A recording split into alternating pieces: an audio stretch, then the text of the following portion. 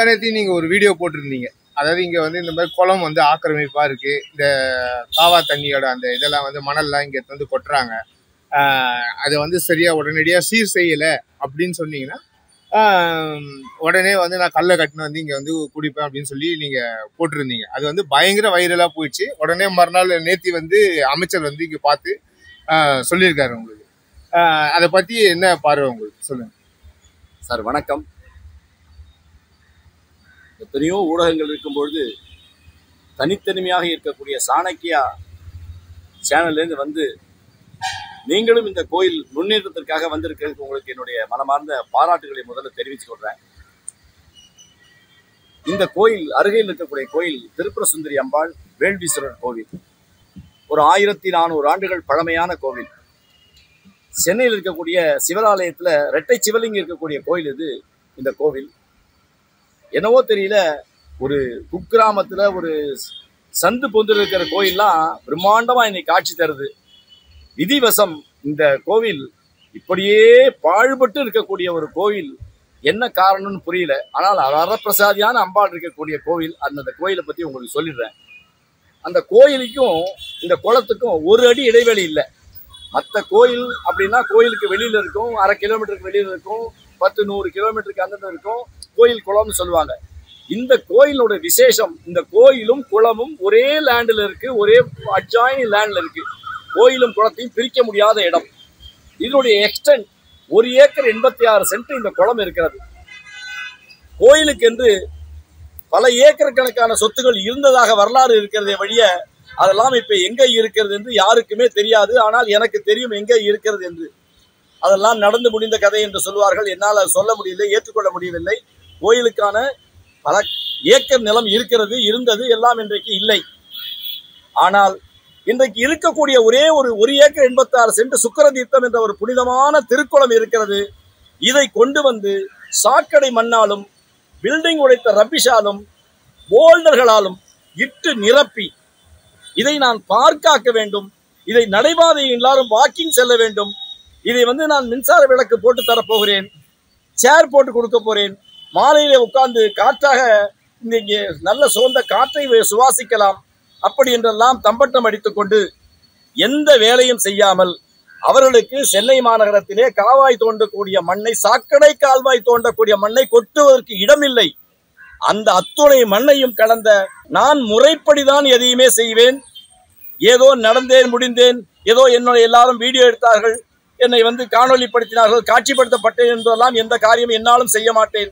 முறையாக அத்துணை அதிகாரிகளையும் தினம் தினம் அவர்களுக்கு தொலைபேசியிலே தொடர்பு கொள்வேன். தினம் தினம் பதிவுகளை போடுவேன். இங்கு நடக்கக்கூடிய அத்துணை நிகழ்ச்சிகளையும் சொல்லுவேன்.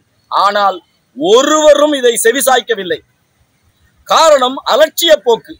இல்லை மேல் அதிகாரி ஏதோ நம்மளை சொல்லிவிடுவார்கள் என்று மெத்தாஜிக்கல் என்னால் பொறுக்க முடியவில்லை. கடைசி கடைசியாக மண்டல் அலுவலரை போய் சந்தித்து கேட்டேன். ஏனையா சாக்கடையை இங்கே கொட்டுகிறீர்கள்? உங்களுக்கு சாக்கடை மண்ணை கொட்டுவதற்கு யார் அதிகாரம் கொடுத்தார்கள் என்று கேட்டேன்.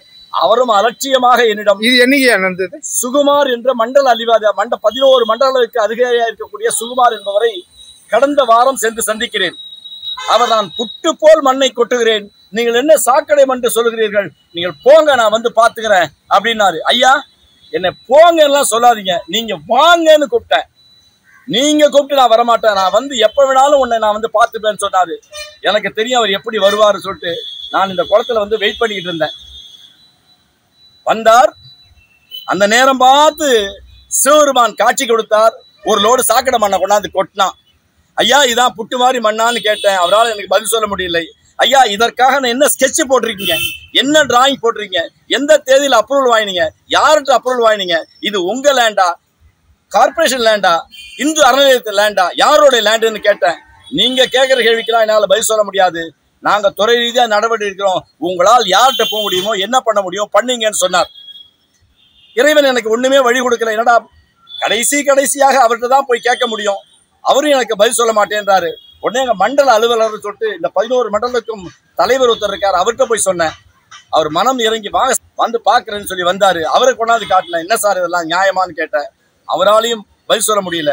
எங்களுக்கு கவுன்சிலர் தேர்ந்தெடுக்கப்பட்ட கவுன்சிலர் அம்மா இருக்காங்க. பாரதின்னு பேட்டு அவங்கள கேட்டேன். சாமி உங்களுக்கு என்னால் பதில் சொல்லவே முடியல ஐயா. வருத்தமா இருக்கு. என்னை எல்லாரும் கொண்டாந்து சிக்கலில் மாட்டி விட்டாங்க. நான் என்ன செய்யறது? நான் கடைசியா ஒரு மெம்பர் நான் என்ன பண்ண முடியும் பண்றேன். நான் மேல எல்லாத்தையும் சொல்றேன்னாரு.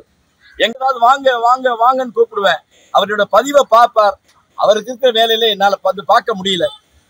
கடைசி கடைசியா சாயந்தரம் அஞ்சு மணிக்கு இந்த பெரிய பெரிய இந்த ராட்சச தூண்லாம் இருக்க. அந்த ராட்சச தூணெல்லாம் உடைக்கிறான்ல பெரிய பெரிய ராட்சச கிரேனை வச்சுட்டு. அந்த அந்த மாதிரி இருக்கக்கூடிய கருங்கல்லால் உடைக்கப்பட்ட காங்கிரீட் தூண்களை உடைத்து கொண்டு வந்து இங்கே கொட்டுறான் சாயந்தரம் அஞ்சு மணிக்கு. என்னால் அதையும் பார்த்துக்கிட்டு சும்மா இருக்க முடியல. இறைவா இந்த உயிர் இருந்தால் தானே நம்ம வந்து இதெல்லாம் பார்த்துக்கிட்டு இருக்கிறோம். செத்து போயிட்டா இந்த குளம் எப்படியா அழகா இருக்கும்? பார்க் அமைச்சிருவாங்க வாக்கிங் பார்க் அமைச்சிருவாங்க. நம்ம சாகலான்ற ஒரு துணிவால ஒரு முடிவு எடுத்து இதை நீங்கள் அப்புறப்படுத்தவில்லை என்றால் இந்த கல்லை கட்டி கொண்டு வந்து இந்த குளத்தில் விழுந்து விடுவேன்னு ஒரு வீடியோ போட்டேன். யார் பெற்ற புண்ணியமோ என்னவோ தெரியல. சிஎம் நாலஞ்சுக்கு போயிருக்குன்னு தான் எனக்கு சொன்ன தகவல்கள் எல்லாம். சிஎம் நாலஞ்சுக்கு போயிருக்கு. எங்கள் மாண்புமிகு அறநிலையத்துறை அமைச்சருடைய நாலஞ்சுக்கு போயிருக்கு. குமரகுருபுரன் இந்த இந்து அறநிலையத்துறை ஆணையர் அவருடைய நாலஞ்சுக்கு போயிருக்கு. எல்லாரும் என்னுடைய நண்பர்கள் தமிழ்நாடு ஃபுல்லாக இருக்கக்கூடிய இந்து இயக்க தோழர்கள் இந்த சிவனை கும்பிடக்கூடிய தோழர்கள் அத்தனை பேர் என்கிட்ட சொன்ன வார்த்தை சார் எனக்கு சிஎம் நம்பர் என்கிட்ட இருக்கு. நான் சிஎம்க்கு அனுப்பிச்சிட்டேன் சார் எனக்கு அறநிலையத்துறை அமைச்சர் நண்பர் இருக்குது அந்த அவருக்கு அனுப்பிச்சிட்டேன் ஏன்? உதயநிதி அவர்களுக்கு கூட நான் அனுப்பினேன் என்று நண்பர்கள் சொல்கிறார்கள். எல்லாம் சிவ செயல். என்னால் எந்த விதமான காரியம் இல்லை. எனவே எல்லோரும் அனுப்பினார்கள். நேற்றைக்கு மாண்புமிகு அறநிலையத்துறை அமைச்சர் திரு. சேகர்பாபு அவர்கள் இந்த செய்தியெல்லாம் கேட்ட பிறகு நான் சொல்லுவது அத்தனையும் பொய் என்று ராத்திரி ஒரு வீடியோ வெளியிட்டார். அதுதான் எனக்கு வருத்தமா இது வந்து பார்த்து நான் சொல்வதெல்லாம் உண்மையா பொய்யா என்று அவர் தெரிந்திருக்கலாம். ஆனால் அமைச்சர் இரவு பத்து மணிக்கு ஒரு செய்தி வெளியிடுகிறார். அவர் இந்த வேஷ்டி கட்டிட்டு ஒரு பெரியவர் பேசுறாரு. அவர் சொல்றது அத்தனையும் பொய் அப்படின்னு இரவு பத்து மணிக்கு ஒரு வீடியோ வெளியிடுறாரு. அப்ப சொல்றாரு நான் அடுத்த நாள் கார்த்தால எட்டரை மணிக்கு அங்க போறேன். அவரையும் வர சொல்லுங்க. பாத்துக்கலாம் நான் பார்க்க போறேன் அப்படின்னு சொல்றார். இறைவனை வேண்டிக் கொண்டேன். என்ன இப்படி அமைச்சரே சொன்னால் நான் யாரிடம் சொல்வது?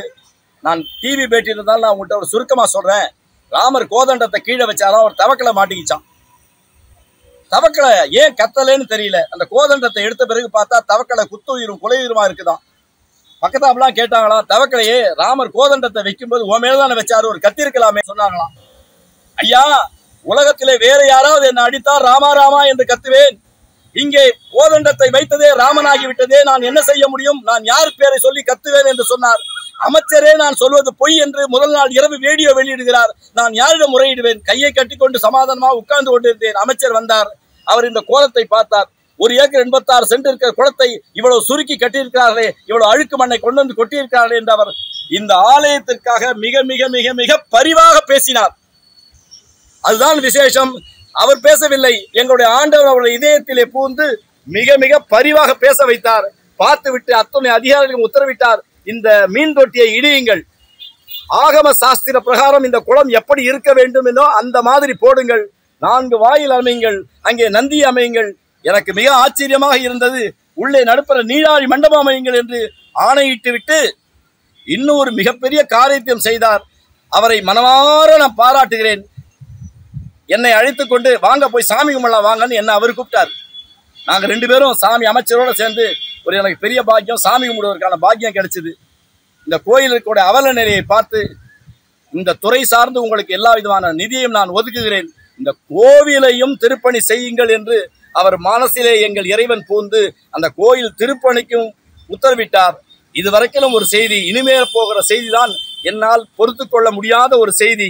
நேற்றைக்கு அழகாக சொன்னார் திருக்குளத்தை நான் திருக்குளமாக ஆக்கி தருகிறேன் என்றார். காலையிலே பேப்பரை வாங்கி படிக்கிறேன். இந்த குளத்திலே நந்தவனம் அமைக்கப் போகிறேன் என்று சொன்னார். இன்றைக்கு அடுத்த மாசம் ஏப்ரல் மாசம் மே மாசம் எல்லாம் வந்துட்டா இந்த ஊர்ல குடிக்க தண்ணி கிடையாது. செத்து சுண்ணாம்பாகிறான் அரசாங்கத்தை திட்டுவான் எனக்கு தண்ணி இல்லை தண்ணி இல்லை தண்ணி இல்லைன்னு சொல்லிட்டு. இந்த குளத்திலே அதிகமான தண்ணி தேங்கினால் இங்க சுத்தி இருக்கிற அத்துணை வீட்டு கிணத்துலையும் தண்ணி இருக்கும். ஏன் இந்த குளத்தை மூட வேண்டும்? ஏன் இந்த குளத்தை நந்தவனம் அமைக்க வேண்டும்? ஏன் இந்த குளத்திலே பார்க் அமைக்க வேண்டும்? ஏன் நடைபாதை அமைக்க வேண்டும்? ஒரு மூன்று அடிக்கு சுத்தி நீங்கள் இடம் விடுங்கள். மண்ணை கொட்டி நிரப்புங்கள். சம்பரத்தம் பூவையுங்கள் நந்தியாவட்டை பூவையுங்கள் அத்தனையும் பறித்து ஆலயத்தை கொடுப்பதற்கு ஒரு ஆலை அமையுங்கள். எங்களுக்கு ஆட்சேபனை இல்லை. ஆனால் ஒரு மிகப்பெரிய பகுதியை நீங்கள் நந்தவனமே ஆக்கி விடுவீர்கள் இரவு நேரத்தில் இங்கே போகிறோம் அத்தனை பேரும் இந்த கோயில்ல நூற்றுக்கணக்கான பாட்டில் கிடக்குது குளத்துல. தண்ணி அடிக்கிறான் பாட்டில் தூக்கி போட்டு போகிறான் கேட்பதற்கு ஆள் இல்லை. இருப்பீர்கள் இருக்க மாட்டீர்கள். நான் இருப்பேன் இருக்க மாட்டேன். இந்த ஆலயம் இருக்க வேண்டும். இந்த திருக்குளம் காப்பாற்றப்பட வேண்டும்.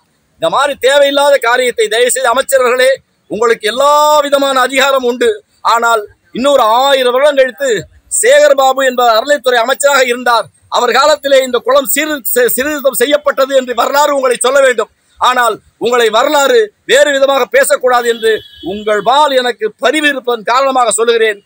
நந்தவனத்தை க- செய்யாதீர்கள். பாதை அமைக்காதீர்கள். குளத்தை குளமாக அமையுங்கள். வேறு நான் என்ன உங்களிடம் கேட்க முடியும்.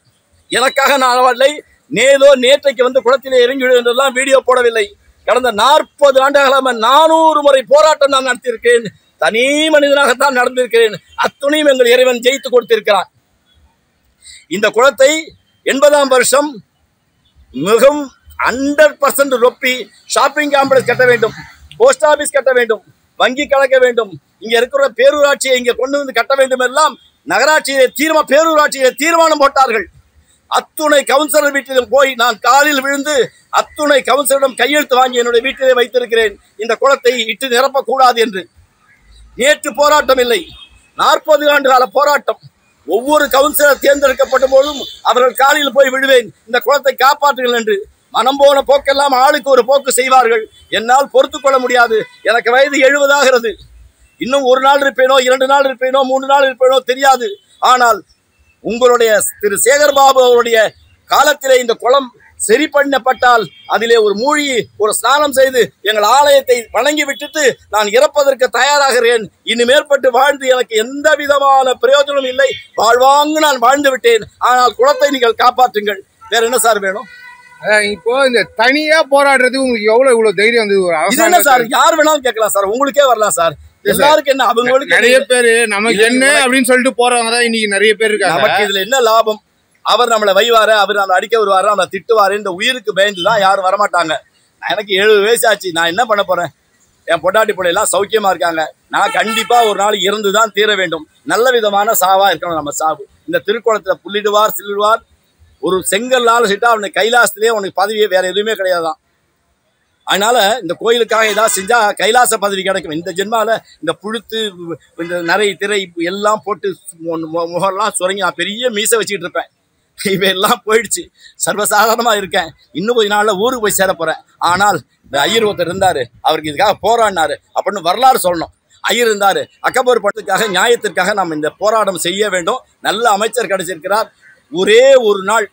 எல்லோருமே ஆச்சரியப்பட்டார்கள். இவ்வளவு ஃபிளெக்சிபிளான ஒரு மினிஸ்டர் இருக்காரு.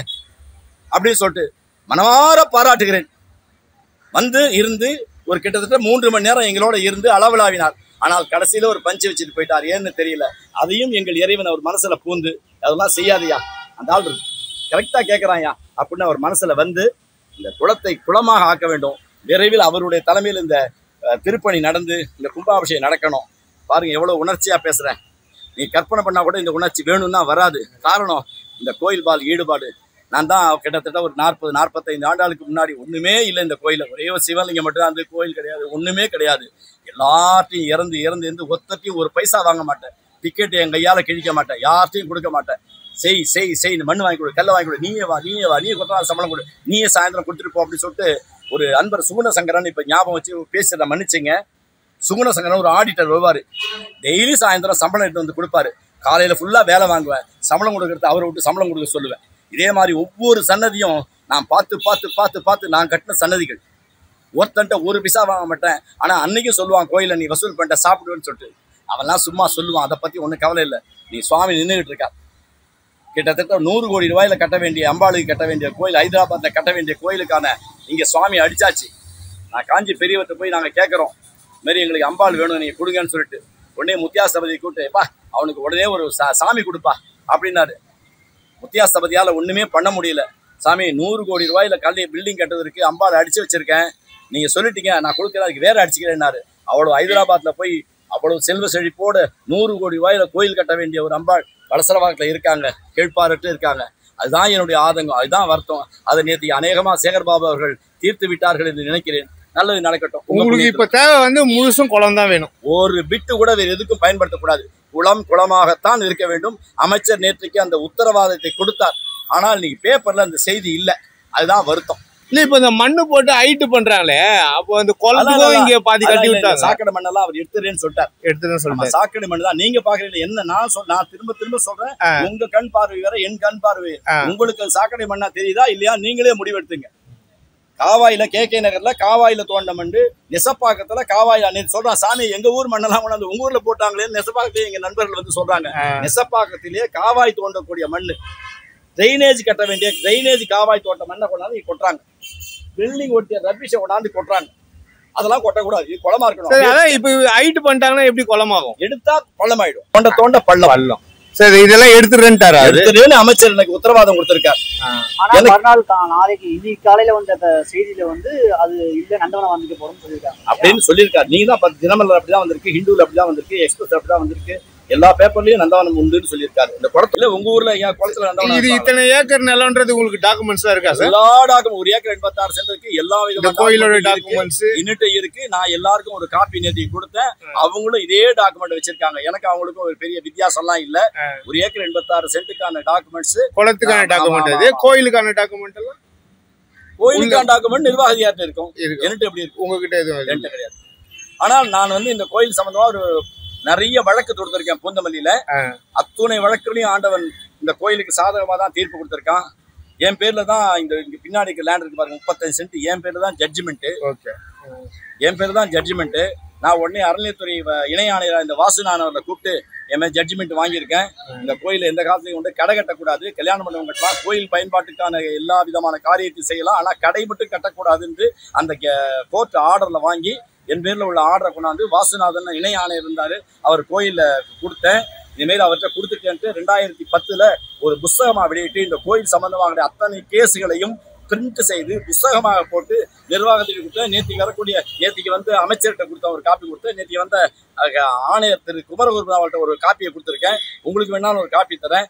எல்லாமே no focus printed copy court copy எல்லாம் நான் பிரிண்ட் பண்ணி ரெண்டாயிரத்தி பத்துல பிரிண்ட் பண்ணி கொடுத்துட்டேன். ஏன்னா அதுலேருந்து பன்னெண்டு வருஷம் நான் உயிரோட வந்திருக்கேன் நான் ஏதாவது இல்லாமல் போயிடுவேணும்னு நினச்சி புஸ்தகமாக வெளியிட்டு எல்லாரும் கொடுத்துட்டேன். இந்த ஊரில் இருக்க ஒவ்வொரு குடிமகன்ட்டையும் அந்த புஸ்தகம் இருக்கு.